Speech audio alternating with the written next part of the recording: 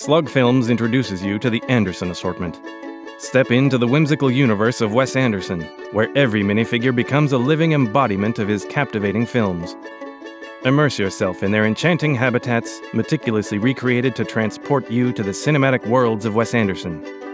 Behold the charm of the Grand Budapest Hotel, where a concierge's tale unfolds amidst the whimsy of pastel hues and meticulously symmetrical bricks. Traverse the idyllic landscapes of Moonrise Kingdom, where young love blossoms amidst nature's embrace, its whimsical beauty captured in every delicate detail.